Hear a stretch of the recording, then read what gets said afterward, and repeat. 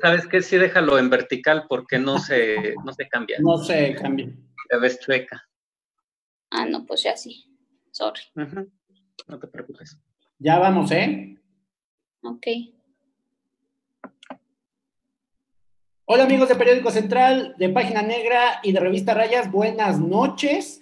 Como todas las noches en la semana, entre semana, pues estamos haciendo estas transmisiones en vivo desde la cuenta de Facebook de Periódico Central y también las compartimos por las redes sociales de Revista Rayas y de Página Negra. Y pues me acompañan esta noche, como siempre, el amigo Jonadab Cabrera. Hola, ¿cómo están? Muy buenas noches. Gracias por vernos y gracias por estar este viernes. Eh, 24 de abril, pues siguiendo esta transmisión para que estén bien informados. Les traemos muy buena información este día. Y la amiga Carmen González, que hoy está ayudándonos mientras Viridiana Lozano sigue convaleciente. Hola, amiga Carmen. Hola, mundo. Hola, Yona. Buenas noches. Pues aquí informándoles como cada, como cada día, como cada noche, para traerles las cifras actualizadas sobre eh, esta pandemia de coronavirus que nos está pegando duro aquí en México y pues en el mundo en general.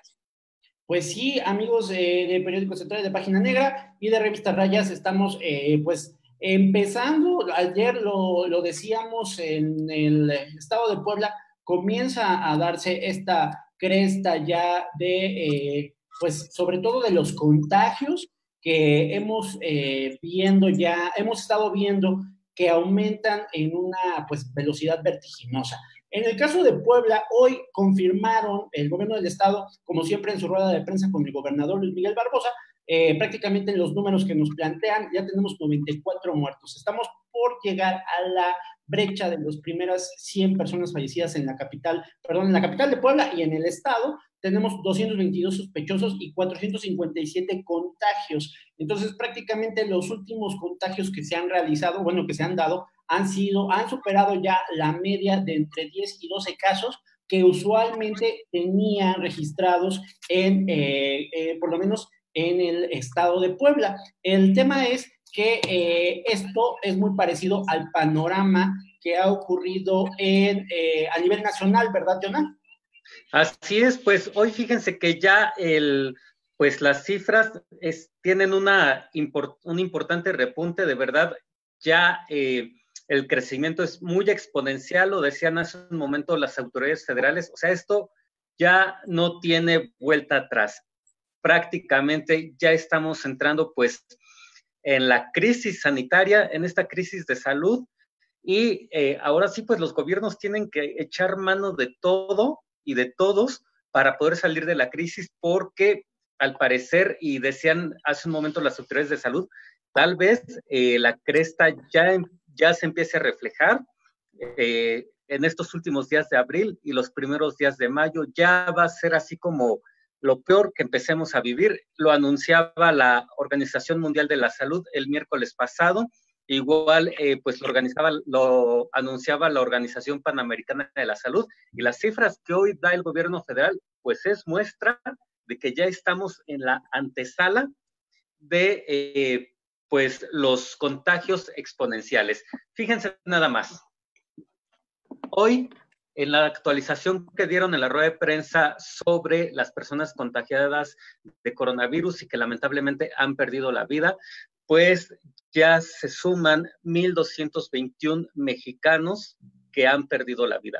Ya rebasamos el millar de mexicanos que lamentablemente han fallecido, 1.221 muertes y se registraron más de hoy, de ayer para hoy.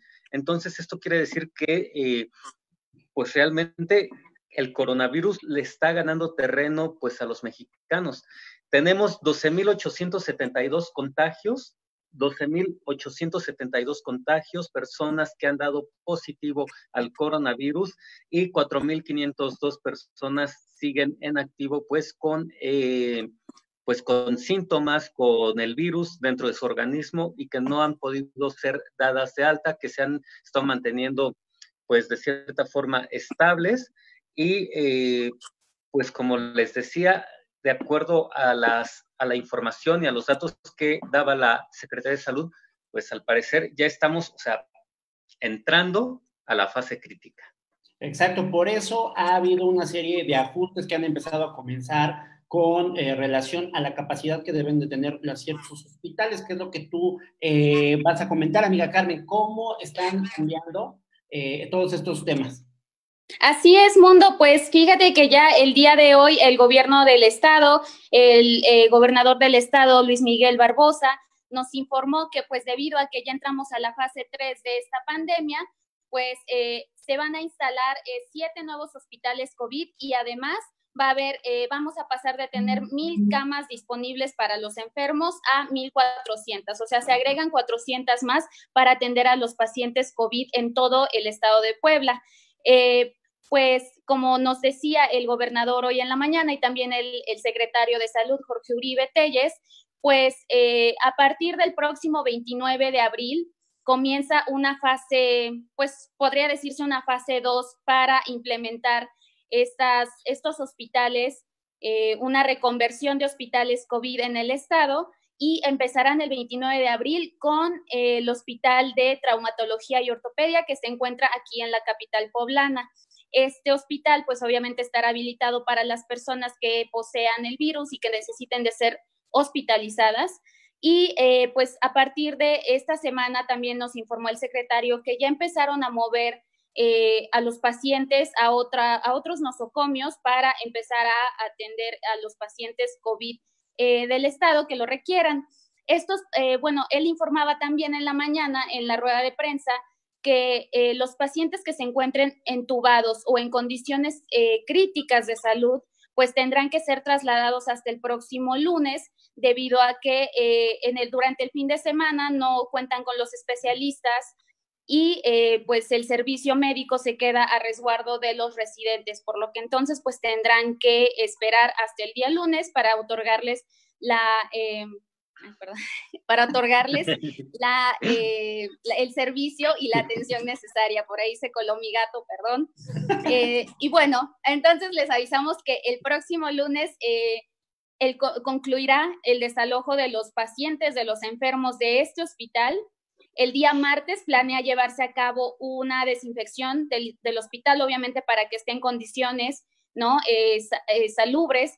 Y el día miércoles entonces comienzan a llegar los ingresos por eh, COVID-19 de estas personas infectadas para que a partir del miércoles 29 pues ya empiece a ya empiece a trabajar de manera normal y empiece a funcionar. Los hospitales van a estar equipados. Como ustedes recordarán, pues en la en la, en la fase 1, ¿no? De, este, de la reconversión de hospitales, pues empezamos con el hospital de Cholula y a partir de ahí se fueron añadiendo otros nosocomios, como son el de Teciutlán, el de Izúcar de Matamoros, el CESA de ese mismo eh, municipio, el de Tehuacán y el de Zacatlán. Entonces, ahora en total serán 12 los hospitales que formarán parte del el tratamiento COVID y eh, el hospital, como les, les, decía, el Hospital de Traumatología y Ortopedia será el primero en, en pues, funcionar de esta manera. Entonces, pues la lista queda de la siguiente manera. La lista de los 12 hospitales queda así. Eh, se habilitará para pacientes COVID el Hospital General de Teciutlán, el, de, el General de Izúcar de Matamoros, el de Tehuacán, el de Zacatlán, Jicotepec, Tecamachalco, Huejotzingo, el Hospital General de Acatlán, de Osorio, Zacapuaxla, General de Cholula, pues como ya sabemos, el de Traumatología y Ortopedia y el Centro de Salud de Servicios Ampliados, CESA, también de Izúcar de Matamoros. Prácticamente la mayoría son hospitales que eh, fueron generados, si mal no recuerdo, en la etapa de Rafael Moreno Valle, que eran utilizados como hospitales generales de la zona o de las regiones, digamos, o las cabeceras municipales o cabeceras distritales. Eh, así es, ¿no, amigo Jonah? Sí, efectivamente, pues todos estos hospitales fueron construidos y habilitados, pues como bien lo dices, en la administración de Moreno Valle y pues prácticamente estos hospitales regionales sustituyeron pues a los centros de salud que anteriormente existían, o sea, para brindar pues obviamente mejor mejores servicios, ¿no? Y que se pudieran eh, llevar a cabo, pues, incluso hasta operaciones, que tuvieran especialidades y demás, porque normalmente, y antes de la construcción de todos ellos, pues, lo que se hacía era trasladar a la ciudad de Puebla, pues, a todos los pacientes. Oye, amigo Jonah, en el tema económico, eh, pues eh, ya hay noticias de cuándo va a arrancar como tal el Tratado de Libre Comercio. Eh, hubo una, pues una reagenda de, del inicio, se reagendó el, el, el, arranque por el tema del COVID. ¿Qué es lo que pasó? Así es, pues mira, el Tratado de Libre Comercio se esperaba que arrancara en el mes de mayo, que arrancara pues a principios de mayo. Sin embargo, pues obviamente por la contingencia de coronavirus se tuvo que aplazar. Sin embargo, ya el gobierno de Estados Unidos anunció que arrancaría o entraría en vigor el próximo primero de julio. Es decir, en que estamos prácticamente ya abril, mayo, mayo, julio, a tres meses prácticamente de que arranque este tratado de libre comercio. Es el nuevo tratado de libre comercio. Recordemos que el anterior pues fue a principios de los 90, por ahí de 1993 y 1994. Y eh, también este tratado de libre comercio pues tuvo mucha polémica. Recordemos que durante meses el gobierno de Estados Unidos pues prácticamente quería tener eh, algunas situaciones ventajosas, principalmente sobre México.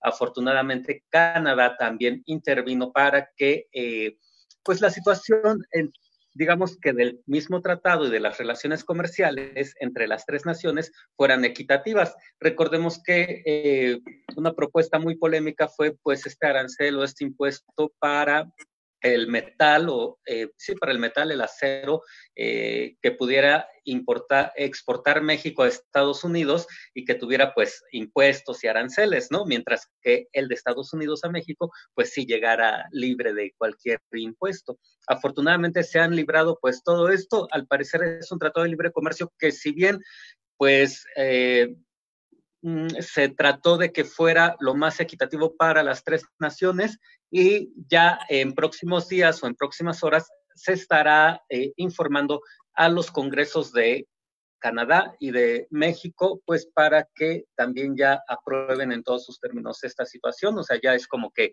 nada más el trámite final y eh, arrancaría el primero de julio.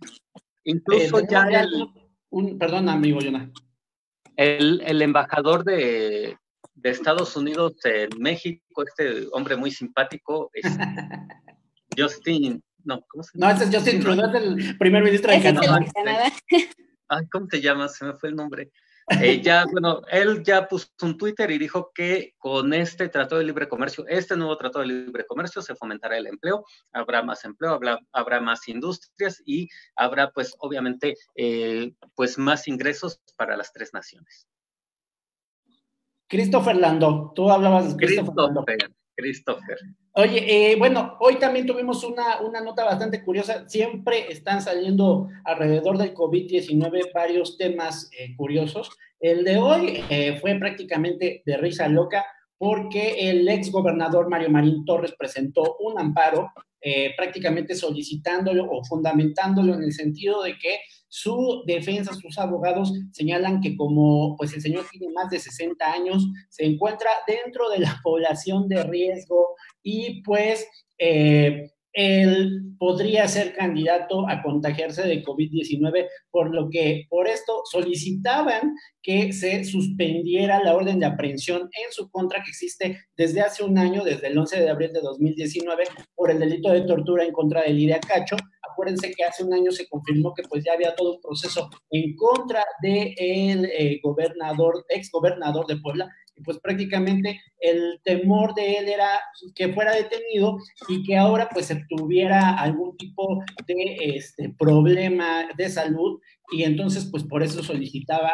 este amparo. Prácticamente hoy lo dio a conocer eh, la periodista Lidia Cacho, quien fue, pues, quien inició este proceso en su contra por tortura y porque también eh, buscan, por el que buscan también a él, el jefe de la Policía Judicial, eh, Adolfo Caram Beltrán, y al eh, empresario Kamel Nasir, y pues prácticamente ella dijo que iba a estar vigilando que la eh, justicia federal no otorgara este amparo, porque obviamente era un tema de risa, ¿no? Que, que quisieran hacer esto. Amigo Jonathan, ¿tenías un comentario? Ay, nada más iba a decir viejo cochino, ojalá que lo encierren. Resulta, después de todas las chingaderas que hizo, y viene a pedir un amparo. Ay, amigo Jonathan, te salió la carmelita Salinas que llevas dentro. Pues tampoco no. Oye, después de todo lo que hizo, después de toda la corrupción de. Viejo este, pues sí, ahora resulta que quiere un amparo. porque te me pues, contacta? Acuérdense que esta es la segunda ocasión que Luis Miguel Barbosa está buscando este, pues, salir bien librado o escapar de la acción de la justicia. Esta es la segunda ocasión que busca algún elemento de este estilo. Entonces, pues obviamente no, no, ha, este, no lo ha conseguido. Pero bueno, tenemos algunos comentarios por acá de la gente que nos está viendo, amigos. Mencionaban de un brote en la em, central de abastos. ¿Tenemos información al respecto? Porque yo tenía... Sí, eh, de hecho, eh, bueno, se rumoraba, que hay un que hubo un brote o hay un brote de coronavirus en la central de abasto y que incluso ya eh, se estaba pidiendo que se movilizaran las autoridades de salud pues para inspeccionar la zona y creo que también pues se iban a sanitizar y pues a llevar a cabo pues ciertas medidas, ¿no? Eh, sin embargo, pues hasta el momento no se ha sabido que haya alguien contagiado, o sea, de manera oficial por parte de las autoridades eh, correspondientes, que son quienes tendrían que estar confirmando esta situación. Ajá, eso todavía no está confirmado. Y nos preguntaban también por acá que los CESAS o estos hospitales que habían sido colocados sobre todo en las cabeceras distritales y municipales de Puebla, no estaban preparados, pero ojo, los que se tiene de infraestructura, obviamente se va a adaptar con todas las camas, con los espacios, así como comentaba Carmen, con los cambios que se están haciendo, por ejemplo, al Hospital de Ortopedia en el norte, lo mismo va a pasar con los espacios en las zonas distritales, que prácticamente es equiparlos de camas, equiparlos de espacios, tener eh, espacios para terapia intensiva. Eh, acuérdense que también no se puede tratar básicamente en cualquier unidad médica un tema de COVID, eh, sobre todo si tienen que intubar a los, a los pacientes. Entonces, es solamente para dar mayor capacidad a la infraestructura que, hospitalaria que ya se tiene en Puebla. Necesitan especializarla y eso ya se avisó. Entonces, no es nada más que lleguen y metan a todos los pacientes en estas zonas. Amiga Carmen, ¿qué otro tema teníamos? Este, bueno, nada más para hacer la aclaración sobre el tema que nos estás comentando, eh, pues decir que el, únicamente el CESA que está funcionando para atender pacientes COVID es el CESA de Izúcar de Matamoros. Los demás no están habilitados para atender a pacientes COVID. Nada más era para, pues, para comentarles, porque sí, de hecho, eh, pues no tienen, no cuenta con el equipo necesario. También el gobernador nos decía hoy en la mañana que eh, como tal, el Hospital General de Cholula todavía no está a su máxima capacidad, todavía cuentan con camas libres en terapia intensiva, entonces eh, no hay una no hay eh, desabasto de nada y tampoco hay eh, falta de espacios para los pacientes. Más bien, hay, hay espacios todavía libres en el Hospital General de Cholula. También tenías el, el tema del estudio de la UNAM. Sí, este, pues resulta que estos, estos científicos de la Universidad Nacional Autónoma de Puebla nos mencionan que pues aparentemente el pico ¿no? de contagios que podría darse, que, los, que la Secretaría de Salud ha dicho que podría darse hasta finales de mayo, pues resulta que podría venir antes de lo previsto. Ellos a través de estos modelos, ¿no? Que son muy parecidos al modelo Centinela, pero pues obviamente son diferentes. El modelo ese eh, SEIR y el CIR son modelos creados precisamente pues para, para dar las estadísticas eh, pues más, más teóricas y más exactas a lo que se podría acercar sobre los contagios de coronavirus en el país a través de eh, pues los, las cifras que el gobierno del, del, país ha dado y también de otros países como Italia, Estados Unidos y la Federación Rusa, pues ellos han previsto que el, pico ¿no? de, contagios y estos pronósticos podrían darse durante este mes, o sea, durante las últimas dos semanas de abril y las primeras dos semanas de, de mayo, y podrían llegar a haber hasta 20 mil contagios. Esto es lo que ellos nos pronostican, eh, a pesar de que pues obviamente esta es, pues son estadísticas, ¿no? Basadas en los eh, estudios que ellos han hecho, pues resulta que pues sí, podríamos llegar a los 20 mil contagios a mediados de mayo, si es que no antes, y eh, la, la, curva como tal disminuiría hasta el mes de agosto.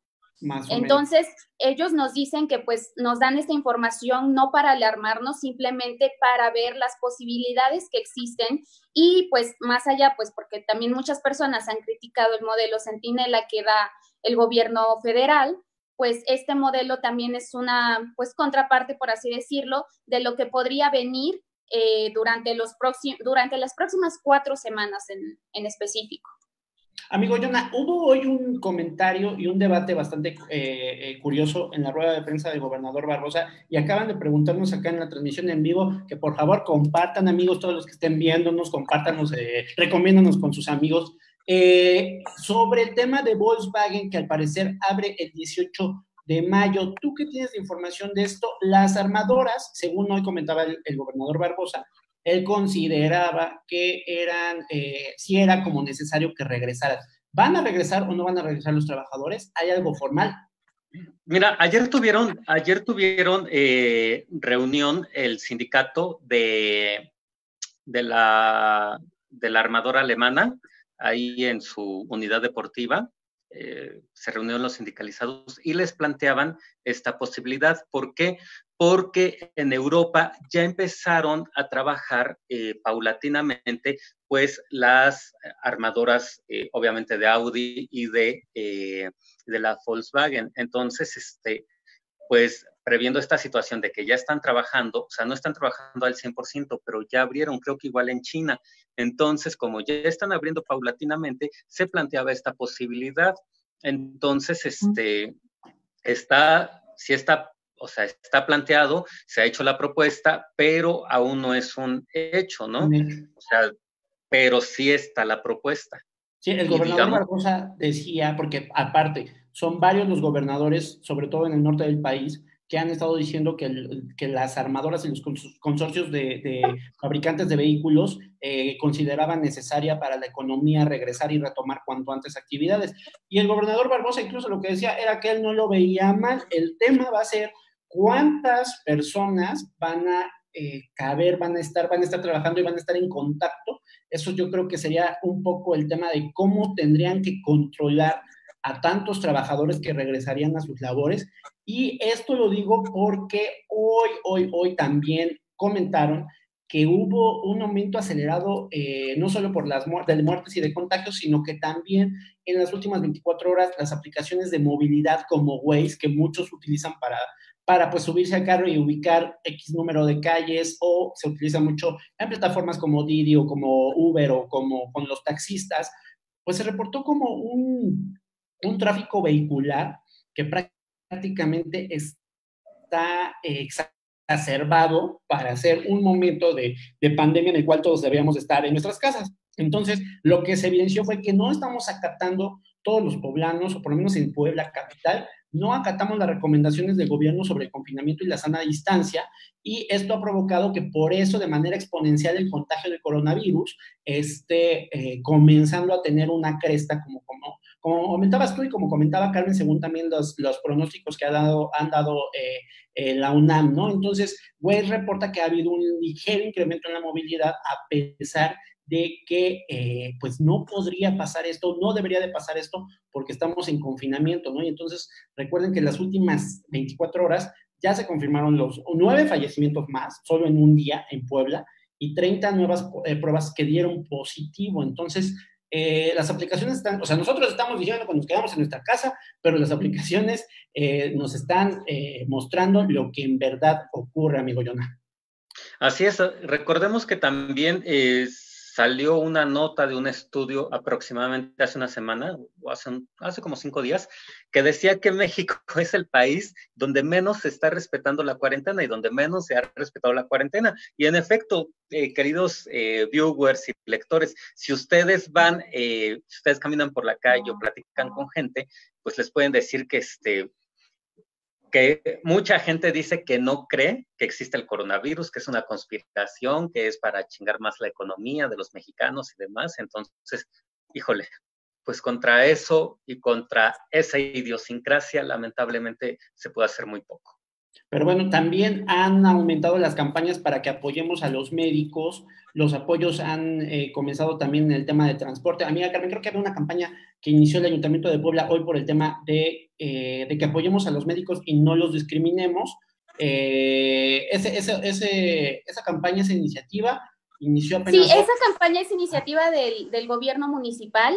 Eh, el día de hoy lanzaron un spot para que la gente respete al personal de salud, a las enfermeras, porque pues ya hemos escuchado estos casos en los que son atacados, reciben agresiones eh, y pues ellos eh, hasta el momento pues han pedido que por favor se les respete, que por favor entiendan que su labor, ¿no? Como tal es salvar vidas, pero para salvarlas pues ellas también necesitan seguridad, ellas y ellos también necesitan ser respetados y pues no, no merecen ser discriminados ante, pues ante la sociedad, ¿no? Entonces, pues hoy el, el ayuntamiento lanzó esta campaña y eh, pues a través de, me parece que salió eh, como spot de radio, que eh, pues piden, ¿no? Piden que por favor mantengan la seguridad de los enfermeros, de las enfermeras, de los médicos. Este mensaje fue como muy nostálgico, muy de, pues sí, de solidaridad con el personal de salud eh, nos comentaban ahí, este, ellos arriesgan la vida, ¿no? Si los ves, dales un abrazo, deseales cosas buenas, de corazón, sé solidario, eh, pues porque son prácticamente héroes, ¿no? Y eh, sin ellos nosotros tal vez no podríamos recibir toda la atención médica que merecemos o que necesitamos durante esta pandemia, pandemia y tiempos difíciles. Se viene algo mucho más difícil en esta fase 3 y pues es por ello que el gobierno municipal de Claudia Rivera nos pide que por favor eh, dejemos hacerlo su trabajo, respetemos su espacio y al contrario de lo que se ve de las agresiones y la discriminación, pues mejor seamos solidarios, agradecidos y pues cuidemos de ellos. Muchas, muy, muy, muchas buenas, eh, pues digamos, este, buenos deseos también para los médicos. Amigo Yona, para ir cerrando uno de los temas más quisquillosos que han estado en esta semana, la relación gobierno del Estado, WAP, por el hospital universitario. ¿Cómo va? Ay, sí, pues tanto que hoy, perdonen, está ladrando Serafina, que ya se quiere meter. ya, ya salió el gato de Carmen, ya salió Serafina. Ahora... Serafina. Pues recordemos que hubo una polémica eh, entre el gobierno del Estado nuevamente y la WAP, porque eh, iban a firmar un convenio de colaboración en donde el gobierno del estado quería pues los respiradores de la UAP y pues la UAP decía que no les podían dejar sus respiradores. Entonces el gobierno del estado pues dijo, ah, pues el hospital universitario no sirve para atender y demás, ta, ta, ta. Y hoy la UAP, eh, los, los, este, los trabajadores del hospital universitario lanzaron una campaña pues para defenderse y para decir que brindan buena atención, para decir que eh, muchas personas están agradecidos por la atención que eh, les han dado y eh, también salen las personas diciendo esto, ¿no? Entonces, este, porque también hoy, pues el gobierno del estado hizo una inspección al hospital universitario para ver si realmente estaba funcionando bien. Y se lanzó una campaña incluso de orgullo HU este, para respaldar, digamos, al hospital en Twitter, ¿no? Que estuvo muy movido. Exactamente. Pero bueno, nos despedimos antes de que nos gane el tiempo, porque ayer nos ganó el tiempo de la transmisión de Zoom y entonces este fue un relajo porque no nos pudimos despedir ayer, pero ya sabe que eh, problemas técnicos tenemos todos los días. Hoy no me desconecté, qué bueno. Amiga Carmen, muchas gracias.